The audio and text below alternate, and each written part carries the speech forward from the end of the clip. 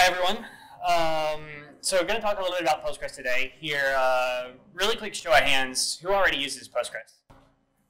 Awesome. Who does not? No one? All right, if you're too shy, we can chat afterwards. Happy to convince you. Um, anyone know who said this?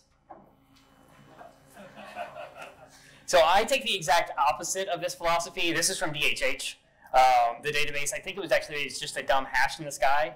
Um, we'll get into a little bit of why I think like you should know a little bit about your database, even if you're not a DBA, to work better with it, um, how to deal with it and handle it at, at, really any scale without having to go, you know, back to school, take a bunch of database courses.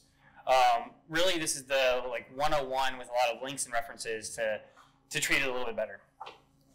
So first, uh, a little bit about me. Uh, I was one of the first product managers at Heroku, spent about uh, five and a half years there, primarily built and ran Heroku Postgres. Um, we ran around 1.5 million Postgres databases across a team of about eight of us. Um, so I think a pretty good ratio of database to engineer. Um, ran product for Citus Data. Uh, I'll talk a little bit more about Citus uh, later, but the short is we turned Postgres into a distributed sharded database and it's transparent to your application. Uh, we were acquired uh, right at a year ago, so now I'm at Microsoft. Um, if you like Postgres and want to learn a little bit more about it, I curate a newsletter, Postgres Weekly. It's pretty highly curated, similar to like Ruby Weekly and others, that um, it's not 100 things. It's like, here's the top 10, 15, 20 things, really targeted for like an application developer, not the DBA crowd. Um, so I think this is you know representative of the show of hands in the room. Um, I think everyone's hand went up. Um, Postgres is more popular than ever. Um, it's kind of the, the, largest open source database, I think, growing in popularity. Um, if you look at like Hacker News, who's hiring, I don't know if you count that as a barometer of success or not, but like who's hiring, Postgres ranks number one among databases. Um, it's really well loved, really well liked as a relational database. Now, first, this is a, a really fun excerpt from the Postgres mailing list uh, from 2006. Uh, Tom Lane, anyone know who he is? Any, any hands? So Tom Lane helped create TIFF. He was on the board for creating the spec for JPEG, co-authored libjpeg, co-wrote the spec for PNG, then co-authored libpng. Then he said, I'm kind of tired of images. I'm going to go work with this database thing and he's been working with Postgres for about the last 15 to 20 years. He is the primary contributor to much of Postgres. I think if you look in top open source contributors, uh, he's in the top five or so. Um, this was him 14 years ago on the mailing list, coming back from a conference, uh, and now it's pretty well regarded. Is that you know this is the biggest mistake Postgres ever made was its name. Uh, it's not Postgres SQL. It's not PostgreSQL. Uh, just ignore the SQL part. Like Postgres, PostgreSQL is fine. Postgres is perfectly acceptable. Just go with Postgres. Um, it's still painful to this day, and I uh, I'm kind of thinking about starting a campaign with all the core developers calling it Postgre to annoy them until they go and change it. Don't think it's going to happen though. So if you're new to Postgres, or someone asks you why do you like it, to me this is the the TLDR. Um, I think a, a, lot of you know engineers we jump onto a bandwagon. Oh, it's cool. Of course I'm using it. And if you ask why, we maybe actually can't give a good answer. Um, it's a really, really feature-rich database. Um, I look in like data types are something that I'm actually really excited about. Um, you wouldn't think that that's something that jumps out as in terms of a database, but it's really useful and powerful. Um, transactional DDL. So if you're running a migration and it fails, you can actually roll it back and not have it kind of be mid-migration um, foreign data wrappers. You can connect from inside Postgres to another database and query it directly. So if you have stuff in Redis or Mongo and you just want to interact within Postgres, you can query directly to those other databases. Uh, listen notify is PubSub directly inside your database. Um, so a lot of these things on the list, if I'm not going to cover all of them in the talk. Uh, if you're curious about any of them, happy to chat afterwards or go look them up. Um, all of these really, really awesome features. So first, just a little bit of, of background on, on Postgres. Um, it's unique as open source, and I would actually say it's probably unique as an open source database. Uh, I think we actually see, you know, within Rails, like there is no owner necessarily of Rails. Um, it's a very liberal license, uh, which is rare for databases. You can take it, modify it, resell it. Uh, this happens a lot. You look at things like Greenplum, Redshift, Aster Data, Netezza were all originally Postgres. They took it, they changed it. Now it's got some slight semblance of Postgres down in there. Doesn't look much like Postgres anymore, um, but uh, a lot of popularity in academia because you can go and create a PhD project on it, ship it, change it, do whatever with it. Uh, the community's interesting. There's a, a, core team that's kind of like a steering committee. There's a committer, uh, which is actually only about 40 people that have a commitment to Postgres. Um, this has actually doubled over the last three years or so, um, so it was even smaller. Um, there's major contributors, minor contributors, so you can actually contribute a lot to Postgres without getting a commitment. Um, in terms of mailing lists, like Postgres, everything happens on a mailing list with a patch. Um, there's no central like Git repo pull request type model. Uh, it happens like it has happened for the past 20 years. Um, if you want to learn a little more on Postgres, the PGSQL users mailing list is a pretty good one to go and learn things. Uh, if you want to fall asleep at night, the PGSQL hackers list uh, is the place to go.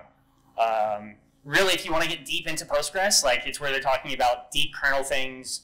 Uh, it's fascinating, and I don't understand half of what they discuss on there. Um, but if you want to level up, it's a great place to go and subscribe. So Postgres is pretty regular with a yearly release. You'll see that every fall.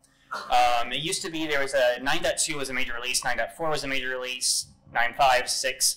Um, usually there's one marquee feature. Now we've shifted the numbering scheme so that major releases are a whole number, no point. So 10, 11, 12 are all the equivalent of the 9 dot something. Uh, minor versions are released with security fixes, patches, usually about once a month. Sometimes it's every two months. Um, usually there's a marquee feature. Uh, for 9.2, it was JSON. Um, we kind of cheated there. Like we said, hey, we're a JSON database. Um, and we did JSON validation and threw it into a text field. Everyone was really excited about that for a while. Um, then we got JSON B in 9.4. Uh, B stands for binary. One of my colleagues says it stands for better. I prefer that version. Um, that's a full binary representation on disk where you can query directly into it, index it. Really, really powerful. All right, so let me drill a little bit more into like the features and why Postgres. So data types. Uh, I've mentioned to me this is one that stands out as really unique. I think stands apart from other databases. Uh, Postgres has a very liberal approach to new data types. There's around 100 data types supported. Um, a lot of these, if you're using them in your application, there's a really strong case that you should go ahead and use it directly within your database. I think of something like arrays. If you've got arrays in your, your application, why actually join that to some table when you're actually making things more expensive? Why not just put that into an array? Um, categories, tags, really useful for those kind of data types. Um, JSON, JSON-B, I mentioned those, both really, really useful. Um, you usually want JSON-B if you're doing anything with JSON.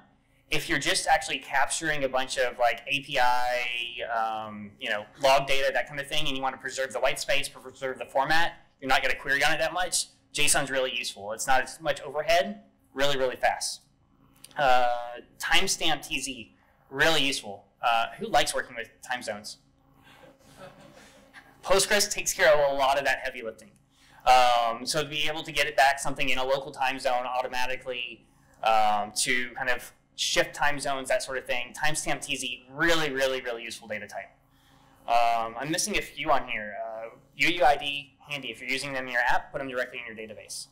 Range types. If you're doing anything, again, back to time. Like time apparently is really hard to work with. Uh, if you're building a calendar application, if you've ever built one, uh, it's really painful. Range types have a from and a to directly in the data type. So you can, can have constraints, like we can't have more than 100 people in this class at this time. So you can have a constraint that says, you know, you can't have classes that overlap, and you can't have more than this many students in this kind of bucket right here. Really, really useful. Uh, it's really feature rich in terms of its SQL support. Uh, common table expressions, also kind of known as with clauses. Uh, who likes writing SQL? Quick show of hands. There's a few hands. Who likes reading SQL someone else wrote? I, I think I saw one person there. We, we should talk after. There's something probably wrong with you. Um, it's SQL is a very powerful language. It is not the most elegant language. Um, CTEs are really, really, really nice for making readable SQL. I promise you I could go and write a 200 line query that you could parse and follow. Think of it like as a, a view that's lived for that period of the query. So you can have these building blocks that build on each other, make it really, really, really easy to follow. Um, you can also, you know, comment the SQL inline as well, really, really simply with CTEs. Um, window functions. If you're doing things where you want to like suborder things, like find a rank based on some category, uh, really useful. Functions. There's hundreds and hundreds of functions. If you're trying to do something to manipulate the data, like find out what day of the week it is, or shift things by one hour, really, really useful that you can go and just probably have a function to do this sort of thing already in Postgres. So indexing. Uh, if you're like me, um, so I actually have a minor in CS, but I don't have a major in CS. I don't work on the internals of databases every day. Um, I go to the docs when I want to add an index and I read and I have no idea what's going on with all of these. Um, the super simplified version so a B tree is usually what you want. When you say create index, uh, B tree index is what's going to be created. If you learned about an index in, in CS, it was probably this. Then what happens within Postgres, with almost every major release now, we get a new index type.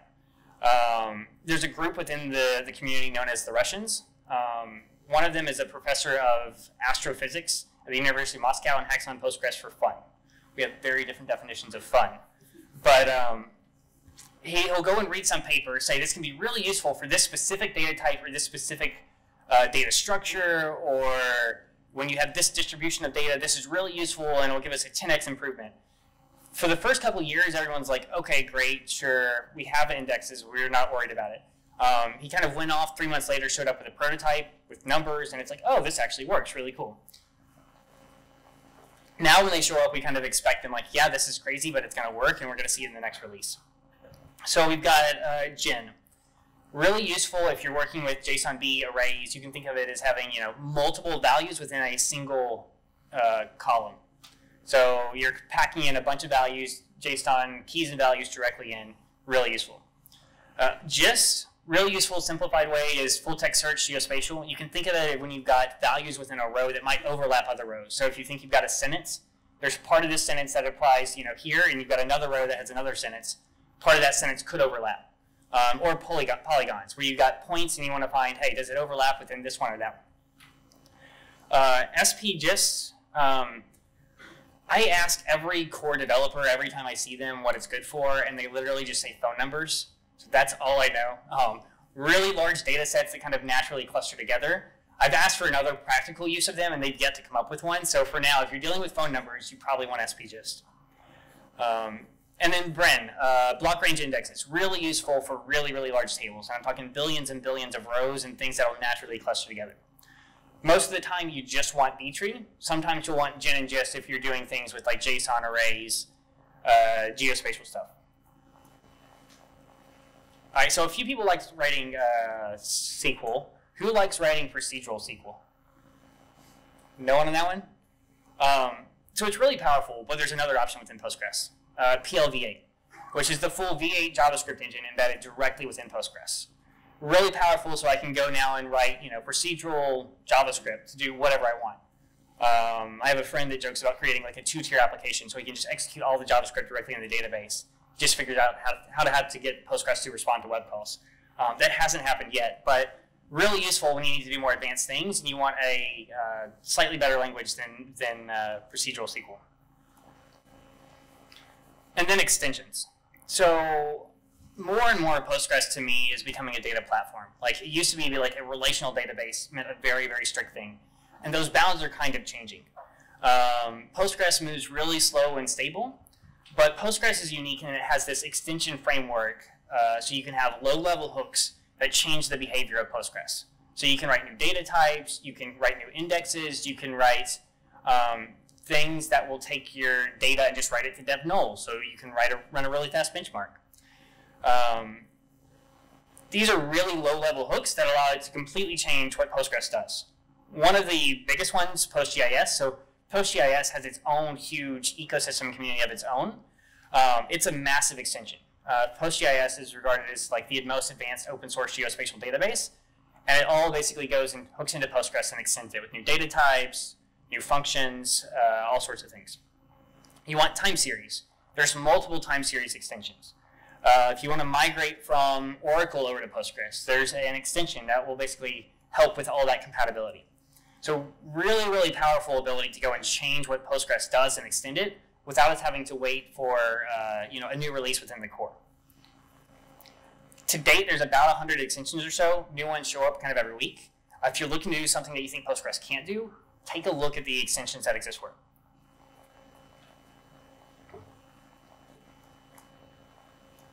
Um, so uh, a couple of pro tips. Um, if you use a terminal, pSQL is really, really good. Um, I'm a big fan of it. Um, how many of you have like a bash RC set up? Okay, most hands. How many of you have a pSQL RC set up? We're, we're drinking together after and hanging out. Um, so pSQL is really, really powerful and awesome. You can do things like backslash x auto, which will auto format your text based on the width of your screen. So if it was going to wrap, it's actually going to go split those lines up one by one by one. Uh, backslash timing will automatically turn on the timing for every query and tell you how long it ran. Really useful. Um, I actually have mine set up that will record the history of every query I run against the database. So if you've ever had someone come to you and say, hey, can you give me a report of, you know, how many user signups we had last month from, from Birmingham? I, you know, hop in and I write this query, send them the report, great. And then they come back six months later and say, hey, you remember that report that you ran for me six months ago that was really, really useful? And I have no idea what they're talking about. Um, because I saved the history and it's saved in a file that matches the database name, I just have to reconnect to that database, uh, control R, and search back through my history, start typing, and I'll automatically populate with that query. So I never lose a query against any database I'm connected to. Really, really, really handy. Um, and that's all set up in my pSQL RC, so I don't have to do anything extra. It's just automatically there. If there's really common queries that you run, you can name them. Um, so if you've got a 100-line SQL query, you can actually name it and then just execute the name of that, uh, how you name it, and it'll run that query for you. Really useful. If you're not a CLI person, um, Azure Data Studio, I recommend is, uh, you know, kind of evolving, improving, uh, more GUI interface for Postgres. Anyone here not convinced on using Postgres? All right, hopefully it's a good case for it. Uh, if you need more reading or need to convince someone else, um, there's a couple of articles. Um, but this talk is really about Postgres at any scale. So I actually just covered kind of think a bunch of the things that you care about with really, really small data. And I say small data, less than 10 gigabytes. If you've got a, a database that's smaller than that, Postgres is pretty much going to handle it. You don't have to do anything special or extra. Um, you want to leverage your data types. Do this early. Um, go ahead and start using arrays and the timestamp data types, uh, JSONB. Start putting indexes in place gradually. Uh, back up things. Get a backup strategy going. Um, test it. If you haven't tested your backup in the last six months, um, I'll bet good money it's not going to work. Um, I don't know if everyone saw the, the GitLab incident that was, I think, about a year or two ago now, where they supposedly had five different mechanisms for backups, and none of them work. Like, it, they were down for hours, lost data, it was painful. If you haven't tested your backups in the last month, please just go home and do that. Uh, see if it works. Um, and then spend some time getting your environment right. Go ahead and set up your pSQL RC. Save your useful queries. Um, set up your history now, and it's a lot easier than when you know you're in a crisis and, and triaging something that it's already set up for you. All right, so let's get on to a, a, little bit more medium scale. So you've got an application, you've had some success. Um, I'm going to say this is about you know 10 gigs to 100 gigs, uh, a few hundred gigs. You can even say this is maybe up to the terabyte scale. So uh, here you're going to sort of want to hear a little bit more about performance. There's going to be some key metrics you're going to pay attention to. I do this on a weekly, monthly basis, or when things get slow, periodically come in. Um, the first thing you're going to want to pay attention to uh, is your cache hit ratio. I'm really excited for DuckTales is back with my kids. So this uh, really quick cryptic query is just going to give you back a really simple number and it's going to show you the amount of times that your queries were served from cache or memory versus going to disk. Um, what you're going to want here is to see 99% or higher. Uh, if you're less than 99%, like those, those queries when you're at 99% are often going to come in you know one, two millisecond kind of time frame. Uh, as soon as it goes from like 99% to like 98, you're going to fall off a cliff and you're going to see 10, 50, 100 millisecond kind of time for your queries. Um, anytime I show up to a database, this is the first thing I'm going to check and say, you know, what's my cache hit ratio look like? If it's too small, uh, you either want to do some indexing or you want to go get a bigger database. Just go get a bigger one. It's the easiest thing to do in terms of scaling databases. Uh, a little more nuance is your index hit ratio. Um, so when you issue a query, by default, Postgres is going to scan every single row in that query. Um, what you want to do is if you've got, you know, hundreds of thousands, millions, billions of records, you don't want to scan every single record that's going to take a while. So what you want to do is start to leverage indexes for your popular, popular queries. This is going to give you a list of all the tables in your database, the number of rows, and the amount of time you used an index. Uh, really, really useful to come in and say, okay, am I appropriately indexing things? Um, do I need to go in and change some things, etc. And then unused indexes. So I, uh, just for fun, tweeted a query, because I could fit it into 140 characters, that would generate SQL to create an index on every column uh, on every table in your database. Uh, don't actually do that. Like, yes, every query will be fast, but you're going to be able to insert like one record per second. Um, but you can be pretty liberal with indexing. Like if something's slow, go ahead and add an index. But it's useful to come through every so often, every month, two, three months, and, and get rid of ones that aren't being used. Uh, and Postgres actually is really good about keeping track of all of these things, like which indexes are used, which ones aren't, um, how many blocks are dirty, all these sort of things. Um, so you can come through here and actually see that, hey, we've got this index that has not been used in the last six months and just drop it. Really, really useful so you can get some performance back on the right side. Um, so some rough guidelines. Uh, any new database, your cache hit ratio, keep it above 99%. As soon as this drops below that, it's time to go get a bigger database. Uh, index hit ratio, this one varies based on the size of the table a little bit and your, your workload pattern. Um, generally, I would say 95% or higher on you know any sizable table. Uh, 10,000 rows is a decent record. Could be 100,000. Um, tables that are maybe 100 records, you don't need a great index hit rate necessarily.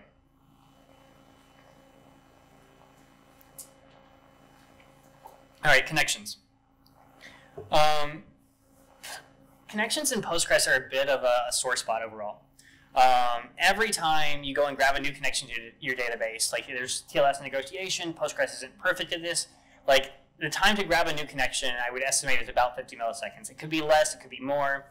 Um, so what typically happens is you, you know you set up a, a pool with an active record, and it's going to have a bunch of connections for you. A new request comes in, it says here's one from the pool.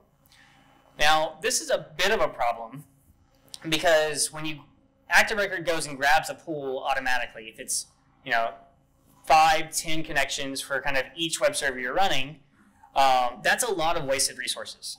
Um, every connection, even if it's running a query or not, consumes resources. It consumes about 10 megs of memory. Um, and then when you get to hundreds and hundreds, there's various lock contention and that sort of thing going on under the covers. Um, idle connections in Postgres are basically just bad and wasted, and you don't want them if you don't have to have them. But we want fast connections, so we you know turn on our application side connection pooling. Um, here, PG Bouncer is really an ideal thing to, to add to the stack. Um, what PG Bouncer is going to do is take all of those idle connections and just make, make them disappear. It's going to have its own pool, but it's not going to pass things through until you start to run a query automatically. Um, so if you're running a production application, I would definitely recommend this if you have any sizable workload. Uh, I've talked to people before that said, you know, hey, I need 3,000 connections to my database. Uh, can you raise the limit from 1,500? Um, and I'm like, do you really need that many? Like, that's a really, really big production application. Uh, like, yeah, yeah, yeah, we have this many active to our database. Uh, we hopped in and ran a query, and there were 13 active connections on the database. Um, so several thousand idle doing absolutely nothing, just wasting resources. Um, so to kind of get an idea, right, like PG Bouncer is going to sit right there between your database and all of your different Rails servers. Uh, you're going to connect to it just like you would to the database. PG Bouncer is basically going to wait for that query to start. If it's a transaction, it's going to hold it all all the way through begin until you commit. If it's a really quick query, it's just going to pass it right on through. Um, it's going to make everything much, much healthier. So if you run into connection issues at all, or if you're at you know 100 connections or higher, and you're not running PG Bouncer, would highly recommend it. And that's mostly it for this for the medium scale. Like add some indexes, watch your cache hit ratio, when things slow down, add more memory.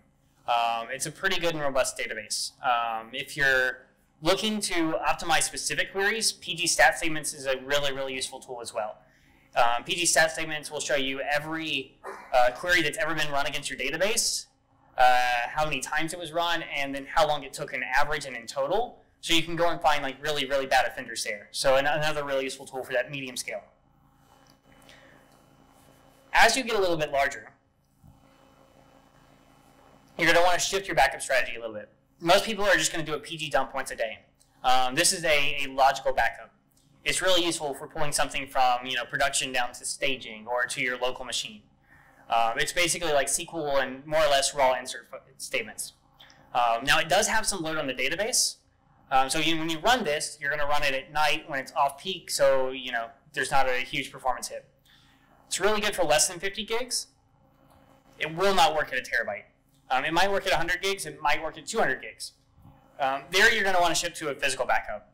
To want to use something like PG Backrest or WAL-E. There's a bunch of tools. It's a little more overhead to set up, which is why I say like you don't necessarily need it right away when you're at 10 gigs. Um, when you're at 50, 100 gigs, really, really useful to shift your backup strategies to start to use physical backups. Um, this is going to be the physical bytes on disk, and then stream the Postgres write-ahead log uh, to something like an S3 or Azure Blob Store that you can then replay it. And so I mentioned this at the you know smaller scale, middle scale, applies at large scale. Like if things are slow, add more cache. Um, if your cache hit ratio falls below that 99%, go get a bigger instance. Um, it's the easiest thing to do for scaling a database. Now, at some point, you can only go so large. Like there's only an instance so big. Um, they do keep getting bigger and bigger and bigger. Uh, but at some point, you're going to have to start to say, you know, breakout data. Um, one option is deleting data. For most businesses, that's usually not a great option. Um, so here what you can do, uh, the quickest, easiest thing is to start to split out some reads to a read replica. Um, if you have things that are like uh, business reporting or analytics, those are great against a re read replica because they're not competing for the same workload. Um, pulling out, uh, usually when you get a really, really large database, there's one table and it's either called logs, events, or messages. Like if you have one of these tables in your database, it's probably the largest one in the bad offender that may not need to go in there with all the rest of your application data. You can pull that one out. Um, then you can start to you know split things up or when at really large scale shard. So sharding, uh, in the most simplest terms, is just splitting your database up into smaller bits, um, smaller, tinier parts. Gonna walk through uh, Citus a little bit. So Citus is an extension, pure open source. You can drop it in, and it's going to turn uh, a bunch of different Postgres databases turn them into a distributed uh, setup. To your application, it still looks like a single node database. So you don't have to go rewrite in a bunch of application logic. Um, so if you had like, you know, a events table and we were to split this up, it would create like an events underscore one, events underscore two, three, spread these out across multiple physical nodes. Um, when you query, you're just going to query events just like normal. So sharding is just the process of splitting this up. Usually you've got to build some application logic to handle this. Uh, Citus is one extension that just handles it for you. So here, what's going to happen, and whether you're using Citus or something else, you're going to want to hash your data up front. So you're going to want to go and define a number of shards. Say like 128 shards is a, a decent number. Um, you're going to want to define these buckets ahead of time. You're not going to want to go and like create new ones every single day. Uh, I see a lot of people that start with sharding and say, okay, I'm going to put my first 10 customers on this box, and then I put my next 10 customers on another box, and my next 10. The problem with that is your first 10 are your the ones with the most data, the most valuable, your your long-term customers. Um, so you've got new customers coming in that have no data, and you've got this one really really large instance still. So better to actually hash every user ID that comes in and put them in buckets. So you're going to divide up the, the hash space of whatever you create um, and split that up. so that by default, customer one, two, three, four are all in different spots already. Now these are just tables under the cover. So you're going to create a lot of shards. And one important note is a shard is not equal to a node. Uh, a lot of people I see like, oh, I'm going to create two shards because I have two nodes. Um, shards will end up being a table within Postgres. So you're going to have like 128 shards or 128 tables. So you're going to split these across two different nodes. So you have 64 on one, 64 on the other. Why this is helpful and important is when you outgrow those two nodes that you have, you're going to go and add two more nodes. And it's really easy to copy 32 tables from one node over to the other than it is to go and copy data out of a table and break that up. So you're going to want to have a bunch of smaller tables already. And then you're just going to route them accordingly. So as it comes in, what's the hash ID of this user? That goes to node 3, send them there. Now, scaling relational databases is hard. You've got a bunch of relations and models. You've got a bunch of joins. Um, like if you're a CRM, you've got leads and accounts and opportunities and all these join and interact. Um, how do you, you know aggregate from one section to the other? Um, how do you make sure something's completely transactional when you're going from one node to another in a distributed system? So all of this is actually going to be made a lot easier by co-location. So what you're going to want to do is define some really high-level shard key that everything can shard on. Um, for a lot of like, if you're a SaaS multi-tenant kind of application, it's probably like customer ID or tenant ID. Really, really common. You're going to want to actually put this on every single one of your tables and group them together. So if I've got like a you know customer ID, I put that on every table. All of these tables are going to live together. So I've got customer ID, and then I've got you know the leads and accounts and opportunities all for customer one. All those are going to have the same resulting hash value because customer ID is one. And so I'm going to start all those tables together and co-locate them. So I've got all the resulting hash ranges of this together, which means I can actually join them again, uh, which I couldn't in a easily distributed fashion. So all those are split up. I've got 128 shards of each of my leads, my accounts, my opportunities tables together. Now for things that you can't uh, necessarily shard and, and split up, um, what you're going to want to do is create like a reference table. And here you're going to do a two-phase commit across all of these. This is really common for like a, a categories if you have something like a you know state mapping or zip code, something like that. Really, really useful. And you're just going to want to have uh, this typically be less than 100,000 records, definitely less than a million. Because every time you write this data, you're going to have to write it to every single node and make sure it's a, a, a proper two-phase commit transaction. Um, but then you can join these things. So even if something there is the, there's a table that you can't shard, you can actually distribute it across all nodes and, and join it. Um, now, with sharding, you really don't want to do it until you have to. Um, so I would say, you know, look for things that are killing your cache hit ratio, like n plus one queries and consuming resources. Um, when you're you're really maxed out and your cache, you're at the largest instance, your cache hit ratio is low. Look at offloading things to a read replica for like the BI, the analytics, things that can have some latency, don't have to be real time, can lag by you know an hour, or a few minutes, that sort of thing. Uh, that'll give you more runway. Um, when you do need to shard, um, I talked to a bunch of people that you know tried to shard 10 years ago and five years ago. I think the landscape has changed a lot. Um, if you tried to do it 10 years ago, you probably still have nightmares from it. Uh, but then there's now use cases like Instagram, which sharded when they were eight employees and managed it pretty successfully. They got a number of talks about it. Um, look at the guides and resources out there. Uh, it's not as painful as it used to be. Um, yeah. All right, so really quick recap. Uh, small, medium-sized databases. Watch your cache hit ratio, number one.